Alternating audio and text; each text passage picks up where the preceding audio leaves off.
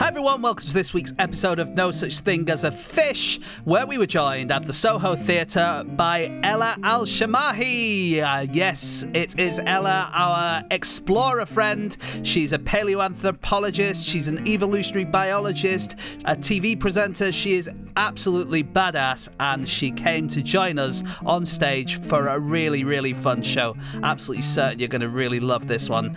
I just messaged Ella, she's off somewhere around the world. Um, and asked her if she wanted me to plug anything. She said not, but um, I really think I should probably mention that she does have a book. It's called The Handshake A Gripping History. Uh, that's available wherever you get your books. One last thing while I have a little bit of time is if you go to no such thing as a fish.com and look for the shop there. I don't think we've mentioned this for a while. We have uh, quite a bit of merch that you can get hold of. There's nerdy t shirts, there's pin badges, there's all sorts of stuff. There is also the Ultimate Guide. This was like a program that we made for our live shows. It was put together by Alex Bell. It's got interviews, it's got photos, it's got tons and tons of facts. Andy did a whole page on moss. Basically, if you love the show, you will definitely, definitely love it. So yeah, go to no and look for the shop and you'll find the details there. But anyway, let's just get on with the show live from the Soho Theatre in London with Ella Al Shamahi. Okay, on with the podcast.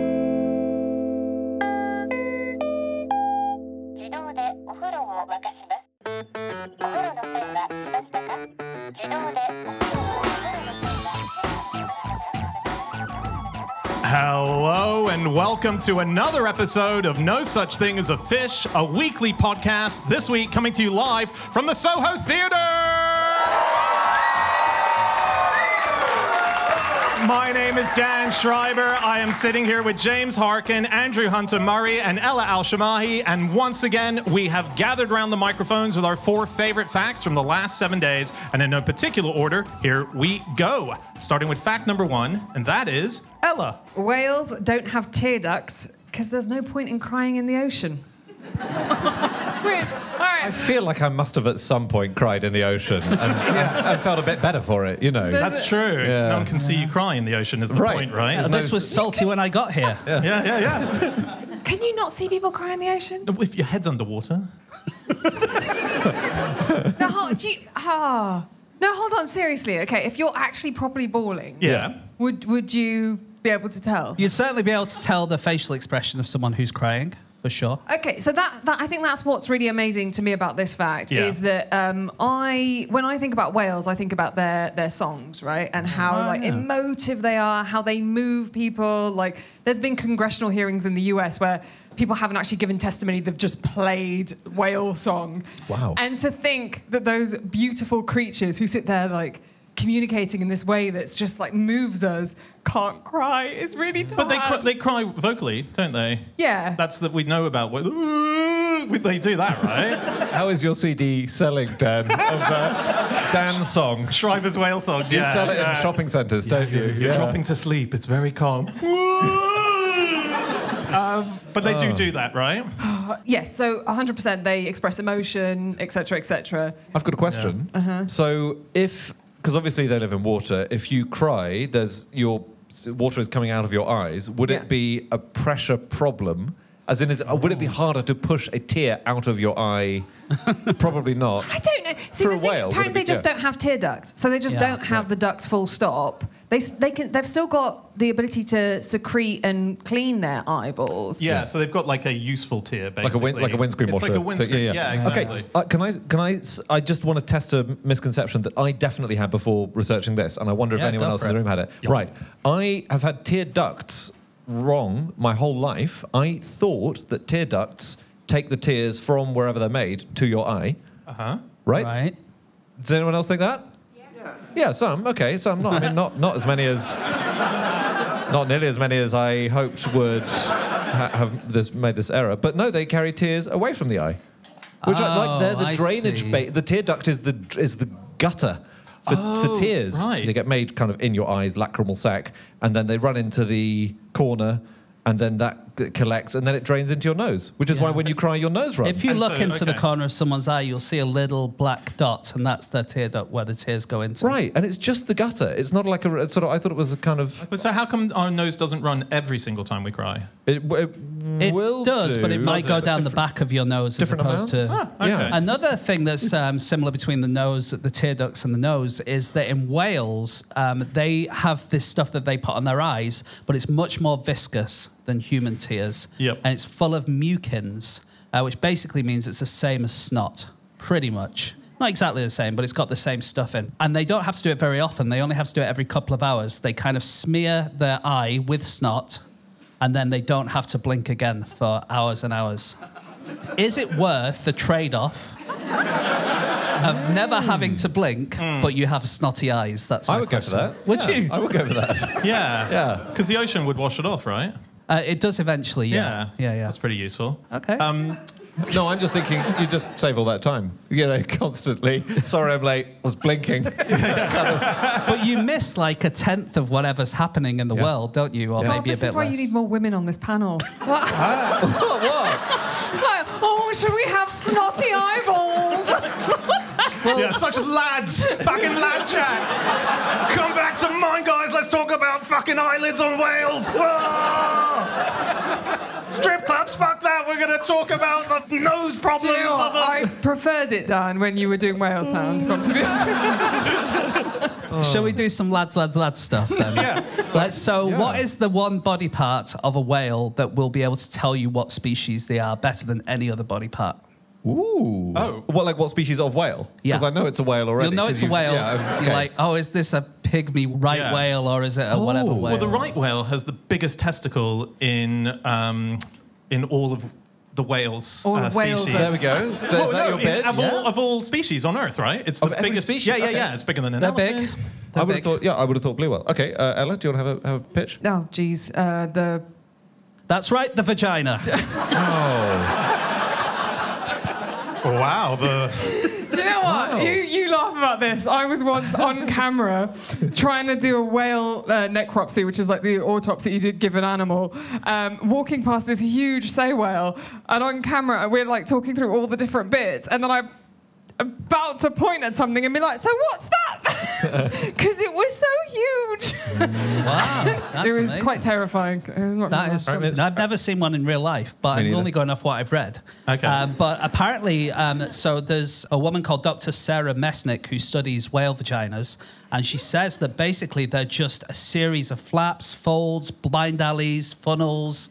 They said that the first time they opened one up, they couldn't work out, like in a maze, they couldn't work out how to get from the opening to where the sperms needed to be. They literally couldn't work out the maze. Wow. yeah. Like Okay. most men. Um, but yeah, and because they're so different in all the different species, they're a really, really good way. If you only have one piece of a whale to look at, Yeah. Okay. go for the vagina. Can, can I pick the whale's head to differentiate the species? Is that Yeah. allowed? Sure. And you're But saying you the reckon vagina's you a would? better steer? Well, they all just look like whales, don't they? Yeah, that's true. I And that's so. really not true, but. No, they don't. Like, like there are some of the whales, like a beluga whale, looks really different Yes. to Yeah, yeah. to a, um, a sperm whale, for instance. But a lot of the like closer species do look quite similar. I would say.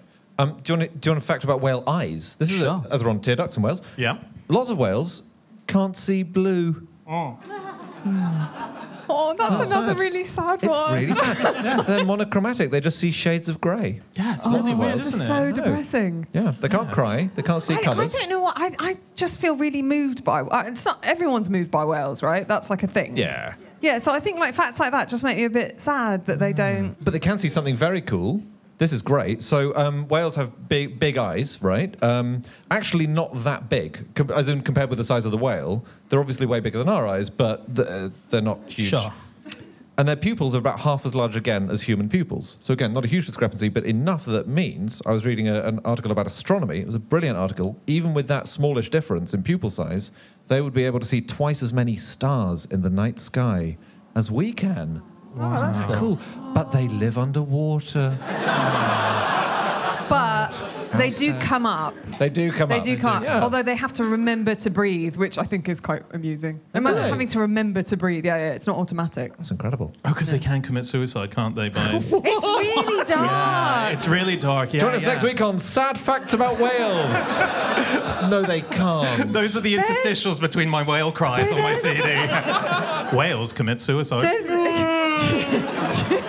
Anyway, listen, can I steer us away from this incessant lad chat and get us to something different, which is um, in Star Trek, as part of the crew, there are whales and dolphins on the actual Starship Enterprise. Are there? Yeah. There's yeah, there's a there's a cetacean navigation lab which is always alluded to, which consists of 12 bottlenose dolphins and a couple of uh, whales that are on And is it because they can see the stars better? It's echo.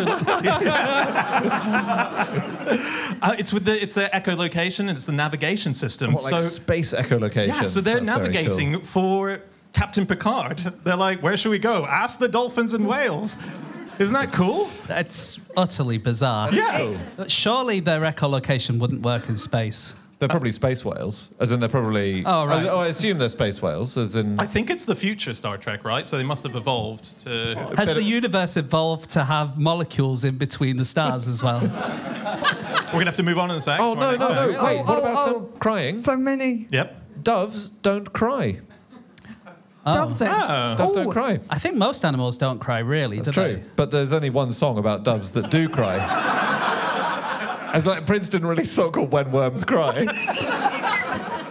um, no, they they do have tear ducts, uh, gutters, uh, and can keep their eyes moist, but they don't uh, they don't do emotional crying. Talking of birds, you know how we always think like the bird song. Talking of birds, who's a the lad now, hey? So um, you know how we think bird song is all about communication? Yeah, yeah. Um, they've discovered that actually no, sometimes birds are just muttering to themselves. No. it's just so cute. Apparently, yeah. that- Apparently, sometimes they're just like, "Mm, it's just really not going well today. I, I read that whales, if there's like predators around and they have their baby whales near them, they'll whisper like, "Guys, we gotta be careful." Like whales whisper. Cool. That's pretty Yeah, it's fascinating that they know to lower their tone. So my my second crazy whale fact, if I can get it in, is that since the late 1960s, blue whales have lowered their um, their sound, so like they've got more baritone, shifting the equivalent of three white keys on a piano, which ironically used to once be made of whalebone. Um, and it's like it's really mad how they've completely changed um, as well the distance that they can communicate in and. And part of that might be a good reason. So it might be that they have gone lower in sound because there's more of them since the 1960s, because the whaling conventions and Oh. anti-whaling and blah blah blah. And all, it's actually worked. Um, but the bad uh, explanation is that the ocean's more acidic, and therefore sound travels quicker. Was like, so it's like you can pick your explanation. Yeah, yeah. Be happy or depressed, Wow. basically. Okay. Yeah, bad place to end. Is there any? well, let me quickly tell you about um, some some new science that's been done. So there were some people who were swimming next to a whale, uh, and before they knew it, um, this guy who was writing about it said the water was like chocolate milk. I couldn't see my hand when I held it in front of my face. I had poo in my eyes, mouth, wetsuit, everywhere, and I was soaked in it from head to toe. Oh no. Okay, but the interesting thing is they reckon this is evidence that perhaps whales will expel feces when they're scared as a defense technique to try and stop people from attacking them.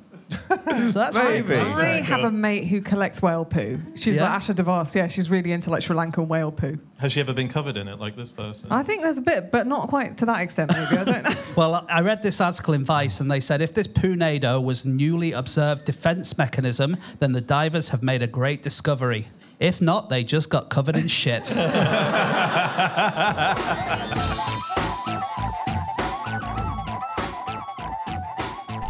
Stop the podcast. Stop the podcast. Hi, everybody. Just to let you know, we're not sponsored this week. Hmm? We're not sponsored this week. Okay. But- on with the podcast. Hold your horses, Dan. We're not sponsored by someone in particular. This week, we are not sponsored by Make My Money Matter. Yeah, Make My Money Matter is raising awareness about something that I think most of us have no idea about. For example, did you know that there is 3 trillion pounds invested in UK pensions and without you knowing it, it is being invested into places that are actively harming our planet. That's right. Your pension could have thousands of pounds invested in things like fossil fuels and deforestation. That's the bad news.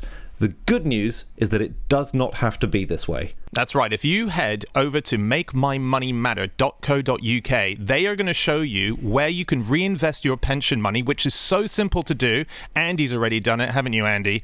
I did. It took genuinely, it took me about 10 minutes, and that was because I couldn't find my password for a little while. Switching from a standard fund to a sustainable fund, it is so easy, and it is such a massive lever that you can pull. Make My Money Matter have done some research. They have found that making your pension green could cut your carbon footprint 21 times as much as giving up flying, giving up meat, and switching your energy provider combined. And if you want to find out more, all you have to do is go to makemymoneymatter.co.uk.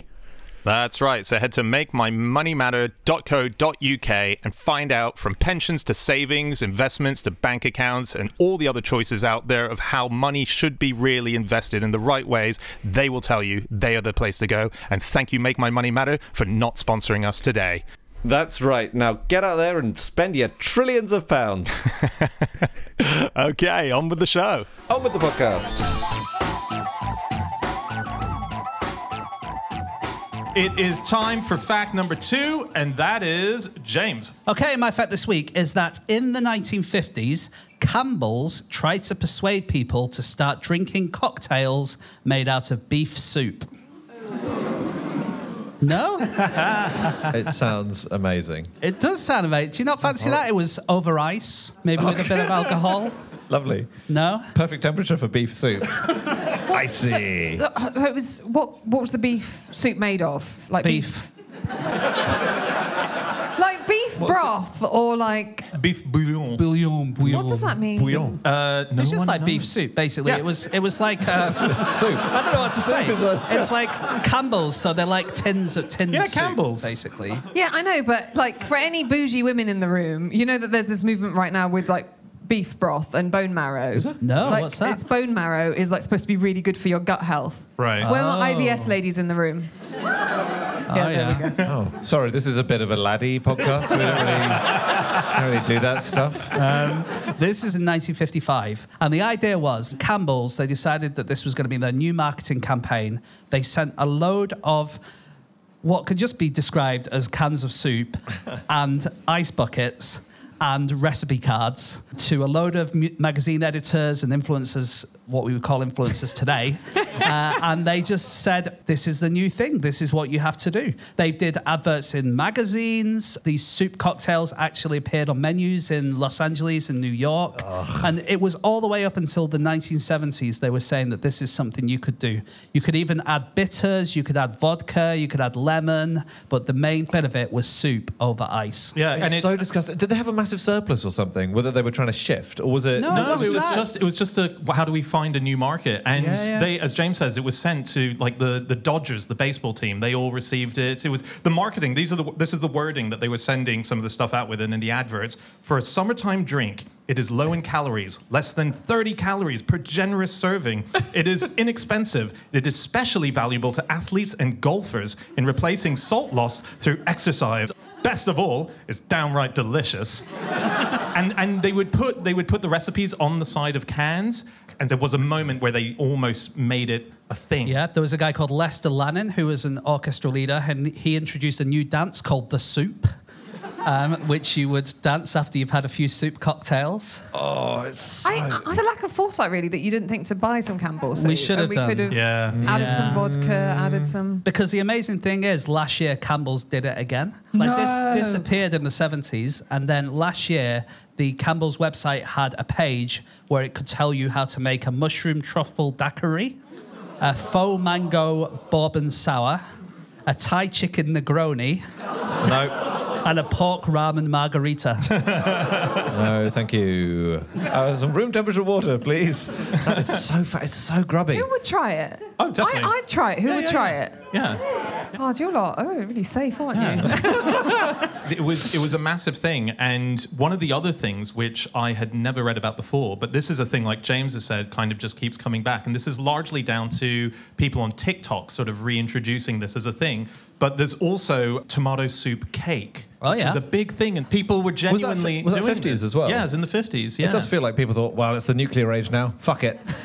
Yeah, That's just nothing matters. yeah, yeah, yeah. And now it's 2022 and they're doing the same thing. It's a bad sign. yeah. I've got a lot of cans of soup left over from COVID. Right, yeah, yeah. Gotta do something with it. Well, enjoy your Thai chicken Negroni. Lovely.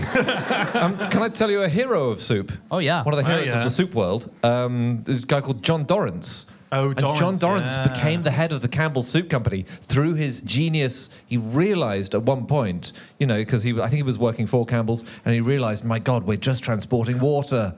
You know, because that's a huge part of the cost of soup is moving it all around. It's just, and he Yeah, invented condensed soup. He created the magic formula, and as a result, his family are all billionaires now. Yeah. because he just thought, let's just take the water out. That's clever. Well, I saw so the Dorrance family. There was a list of the richest people in the world, the richest families in the world. So we're not talking individual billionaires. In 2023, they are listed as the 19th richest family in the world, according to this list.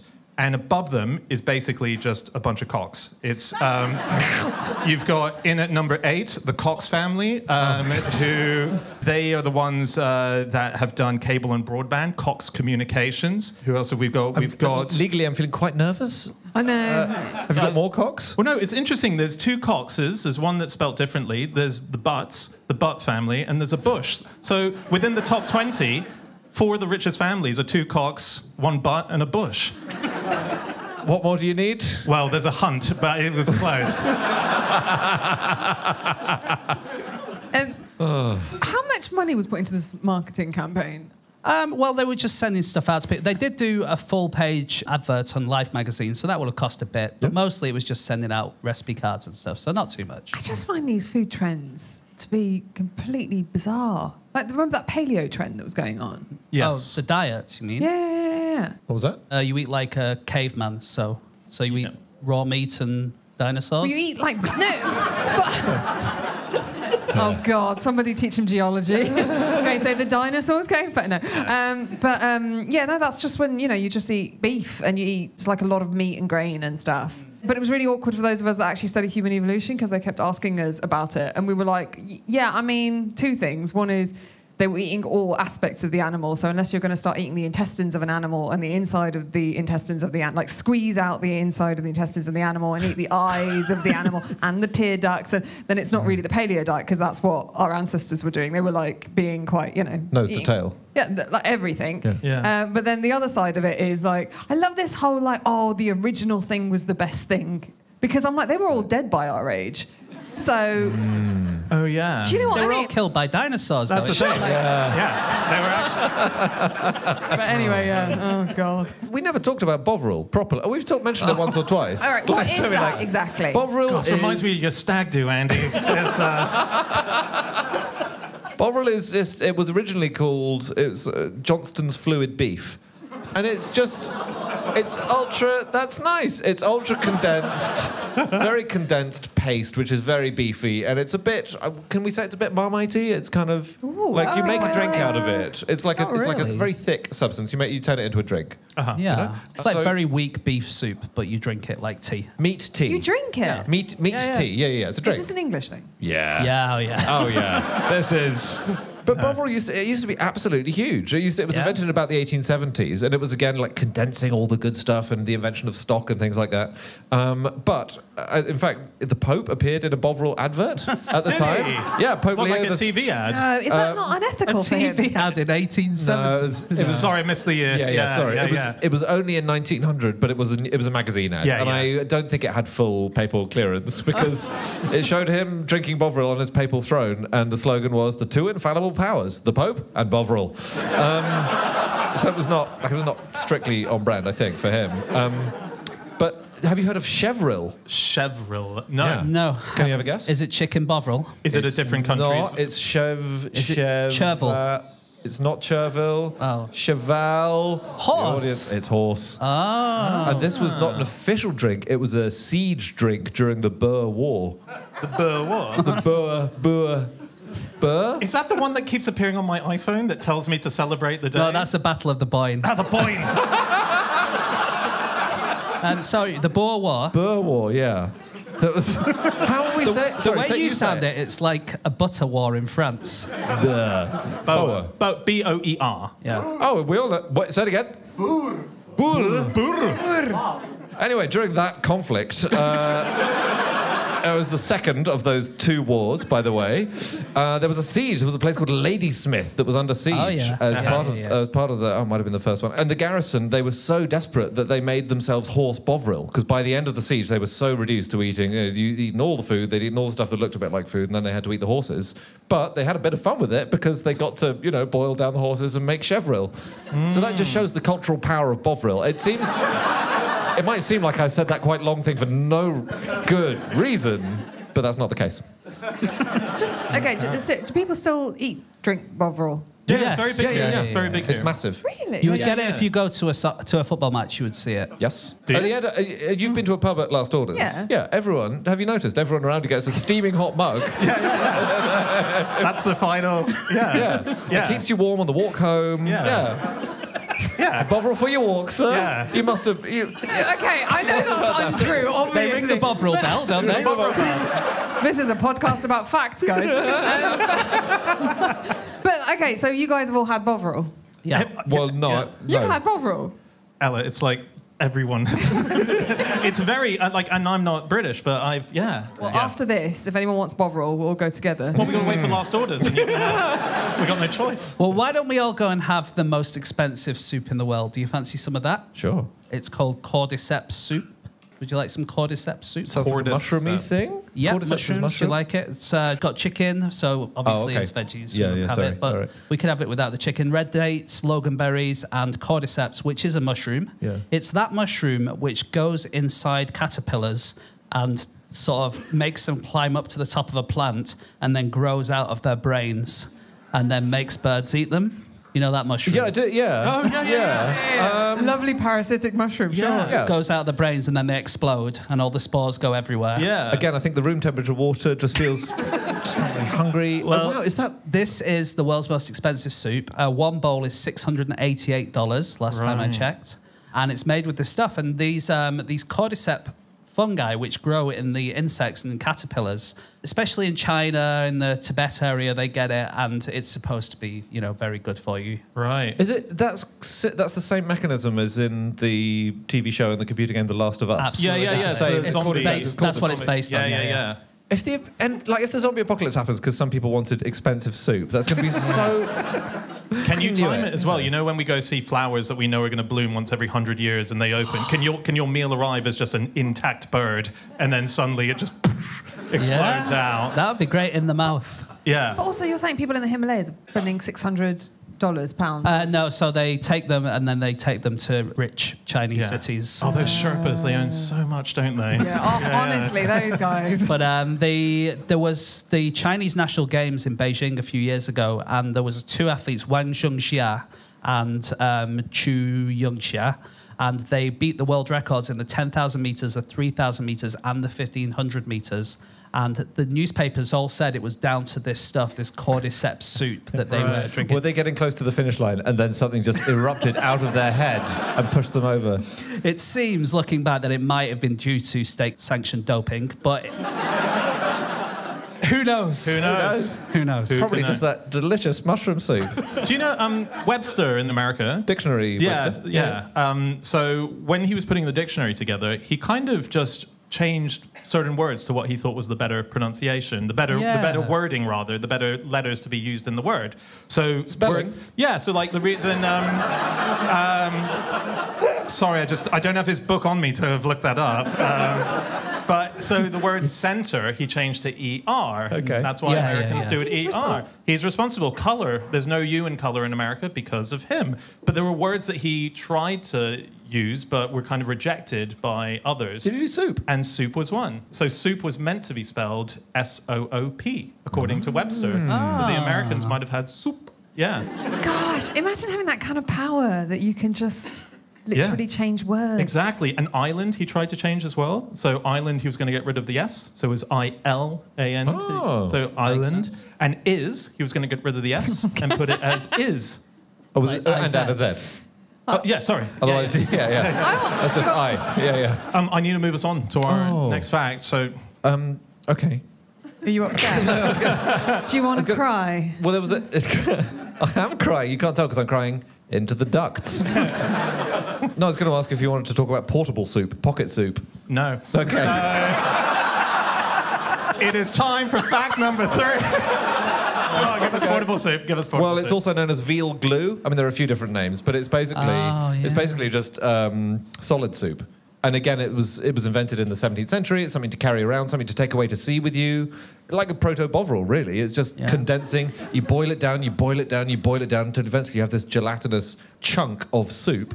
And then you just rehydrate it. And so uh, Lewis and Clark, when they did their expedition, th- they took 193 pounds of solid soup. So that would have made that would have fed them for ages. But they only ate it when food when things were really desperate. I desperate. think that's because it was disgusting. Yeah, I think you're right. Yeah, we had a fact also from a listener about Lewis and Clark, which is part of the reason I mentioned this. Oh, which yeah. is that when they went on their amazing trans-American voyage, they took 150 pounds of semen with them, which was their dog. He was called Seaman. Lovely. All right, I'm out.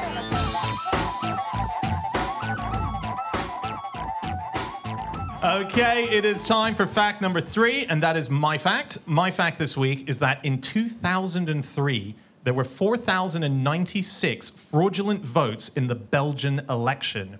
The culprit, it was later discovered, was the universe. So what happened is the universe It's always panto season at the Soho Theatre. the, the universe accidentally voted in the Belgian election, um, and it was down to cosmic rays. So basically, this at 2003, there was a lady who was uh, running for a unionist party, and she was called Maria Windvogel. Apologies for the pronunciation. And um, it was National Election Day, and there was a precinct where they were having the votes counted.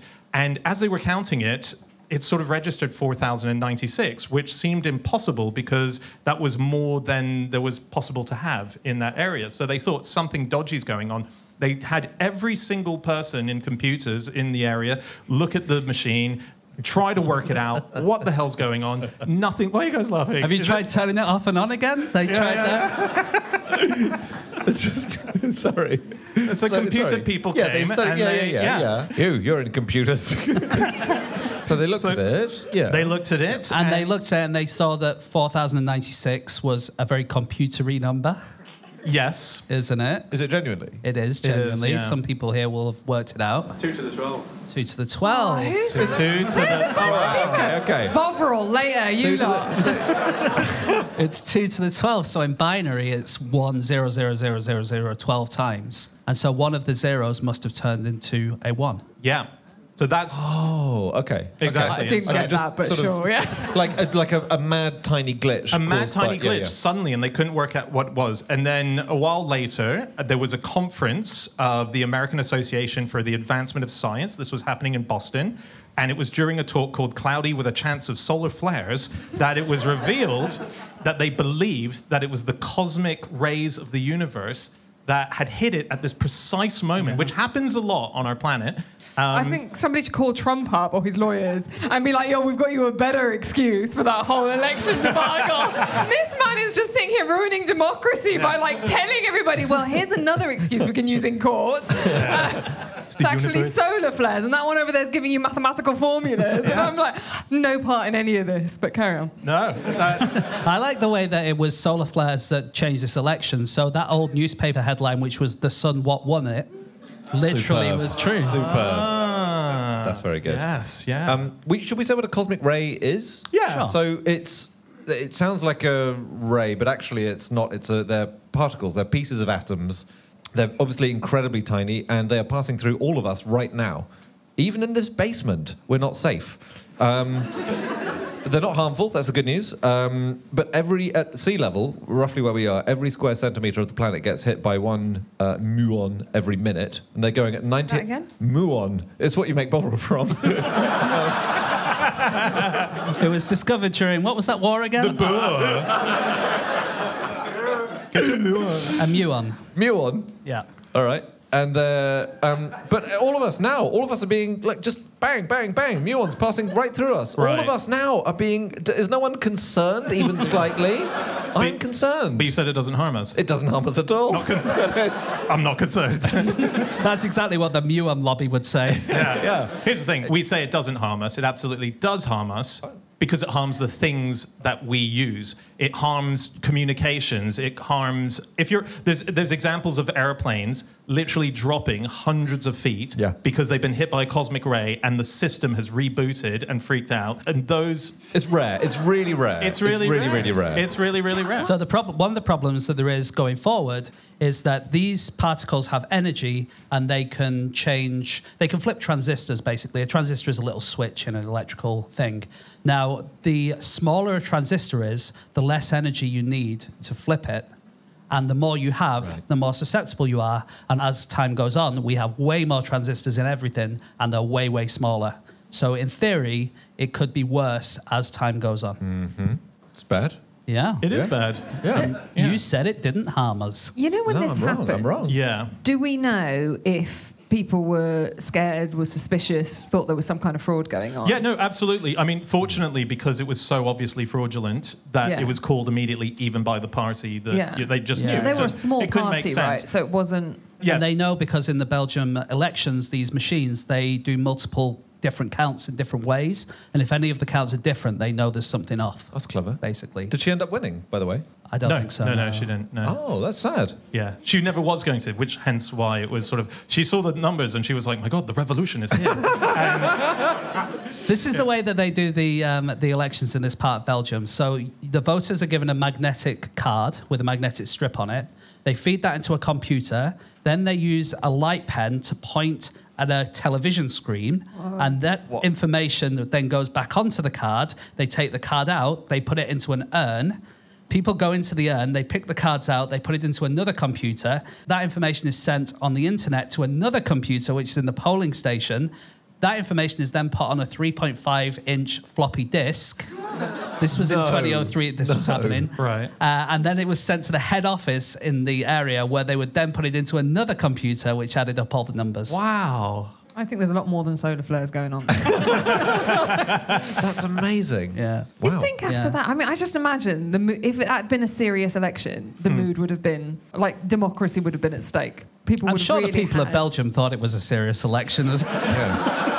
Belgium's quite chaotic. Like, they quite- did. They had no. Um, they had had no no government, government for for, about five years, didn't they? Yeah. and it was fine. Yeah. We could just get by.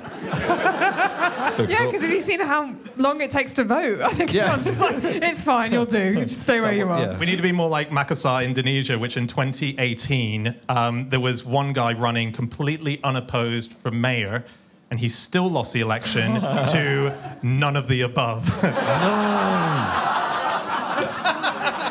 Do you say Indonesia? uh, yeah. they have almost the, I would say, the opposite system to the Belgian 2003 system. What? It's entirely Dictatorship. It's no, well, cross it off the touring schedule for 2024. Looking forward to that. Um, uh, they have nail-based voting, so you you get a ballot form, ballot Yeah. paper, ballot sheet. Might just call it a ballot. A ballot. You get your ballot, and then you punch a hole next to your chosen candidate with a nail, and then you hold it aloft during the count. And you can see where the light shines through the little hole, and that is it. And they, they introduced pens in 2014, but the authorities said you must use the pen as a nail. Just ano- one other election thing that I read. Do you know who won the 2020 uh, Nambian election? It was a Namibian. local election. Namibian? Sorry. Yeah, are, you, are you using Webster's dictionary for this? Sorry, I was looking for the region and then I got confused as I was saying it. Um, so there's a Namib. N- Boer, Wait, no, if, Boer, I, if I take it slowly and we all concentrate, it'll Yeah. be okay. You can do it, you can do In it. 2020, a Namibian politician. Guys, if I cut out all the other stuff, it sounds like you were all massive fans of Namibia. hey, they have great landscapes, is all I'm going to say. Beautiful. No, okay, there's a local politician in Namibia who is a. Where's, I'm sorry, where? I'm out weird as well. In the Just say in Babib- Africa. Did you say In Af- Babibia? I don't know. I don't know what comes out of my mouth. It's it's it's In Namibia, there's a candidate. Yeah. In 2020, there's a Namibian candidate who won a local election who is, uh, can you guess his name? Whatever we guess is going to be closer than whatever you read.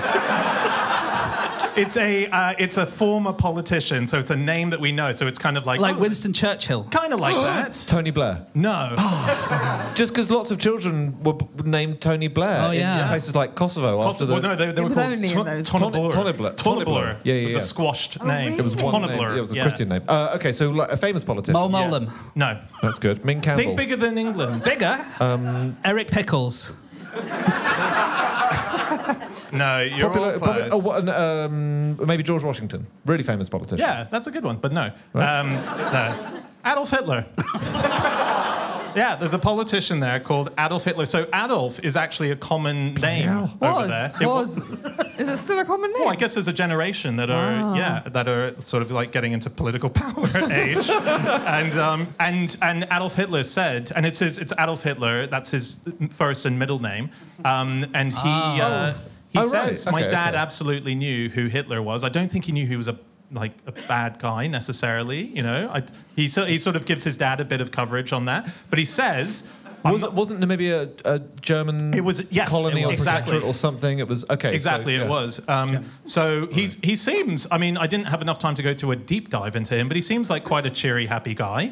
Um, might be restoring the name. I don't know, but. He, um, he said, they said, Are you going to change your name? And he said, ah, this is, it's- It's on all the papers already. I think I'll just leave it, actually. It's fine. So he's just kept it. And, he's, and he, he won his Did he- he election. won? Yeah, yeah, he won it. It's Yeah, recognisable. yeah exactly. His Wikipedia says, by the way, it says, It's says- not, it not says- to be confused Yeah, with. exactly. Yeah, yeah. Not to be confused with Adolf Hitler. And then on that sidebar, it has occupation, political activist, known for sharing the name as Adolf Hitler. That's got to be the disambiguation on Wikipedia with the biggest like difference in article length between the one guy and the other guy. yeah, yeah. yeah. I don't know what he's achieved in Namibia, you know. No, true, very true. That's true. Do you know, in, uh, it was 1964, the general election, at which Harold Wilson was the victor in. Yes, defeated Alec Douglas Home. Go on. Well, that's kind of hot. Oh, Dan, where were you during my university years?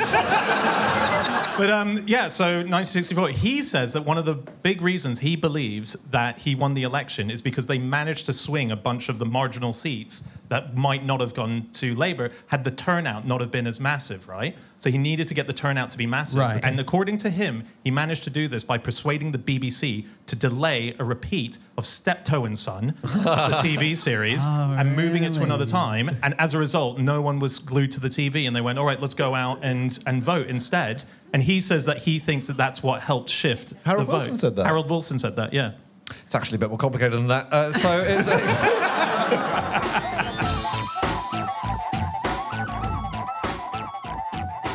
Okay, I need to move us on to our final fact of the show. It's time for our final fact of the show, and that is Andy. My fact is that the man who just broke the world record for living underwater got a visit from his 80 year old mother halfway through to keep him cheerful.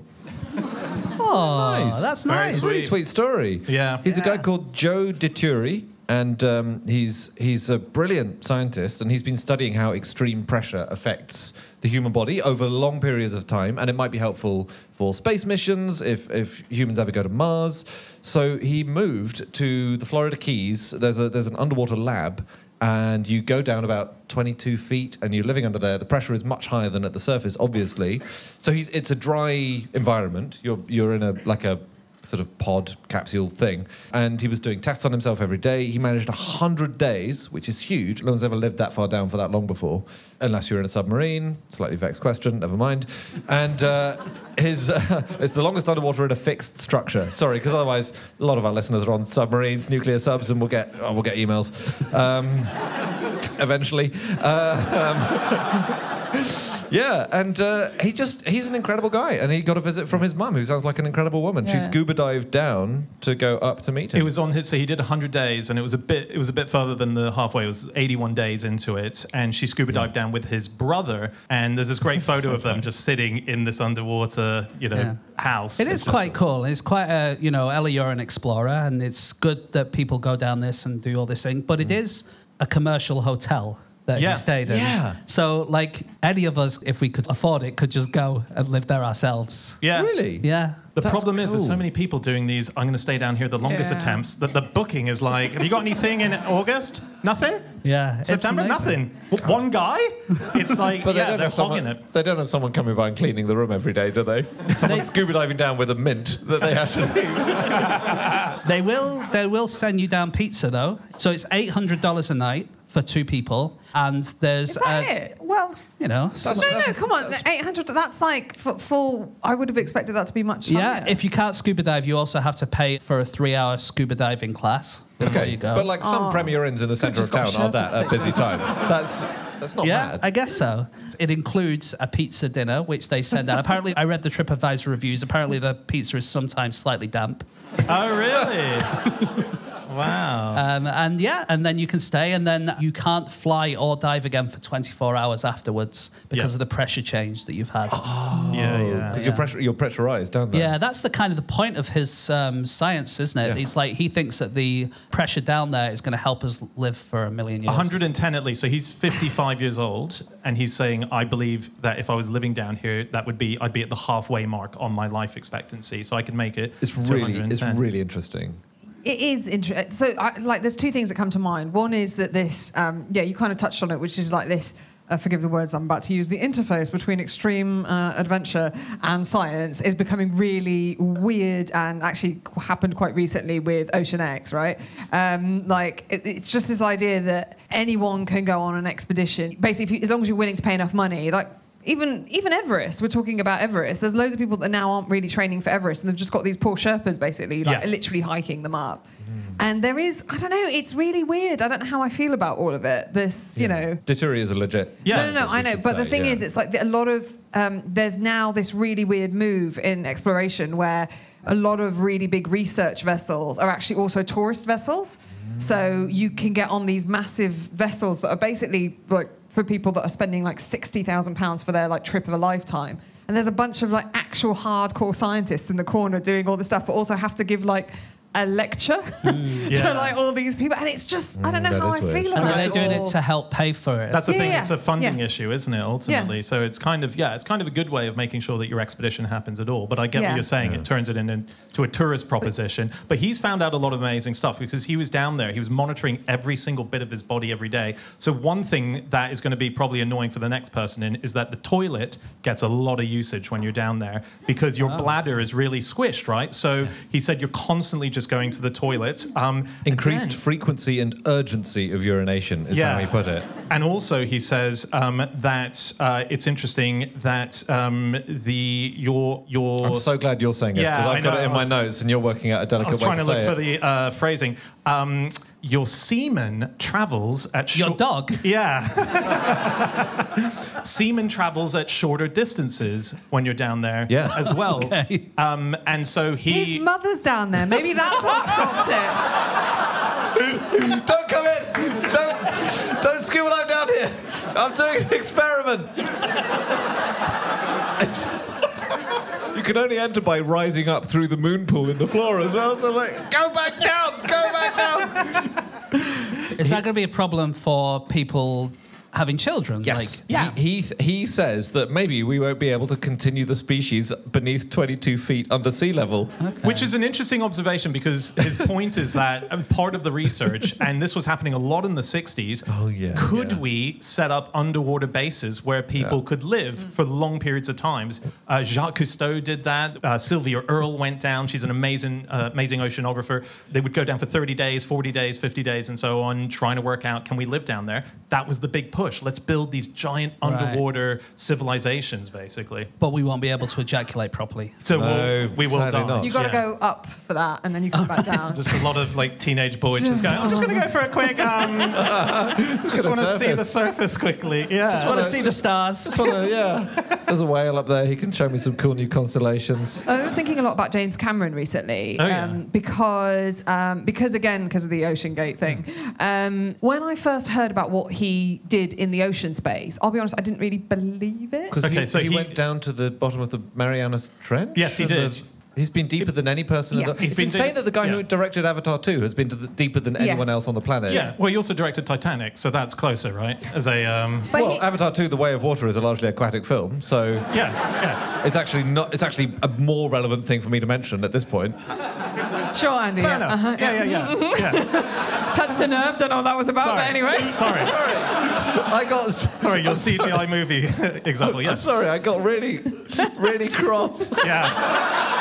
And can I say that was not hot? Okay. Oh, have I undone all Anything my you good- undid the sexiness of earlier? of the Alec Douglas Home moment Yeah. earlier. Yeah. It's so interesting because he gave up his seat in the House of Lords to run as the Conservative leader. That's very rare.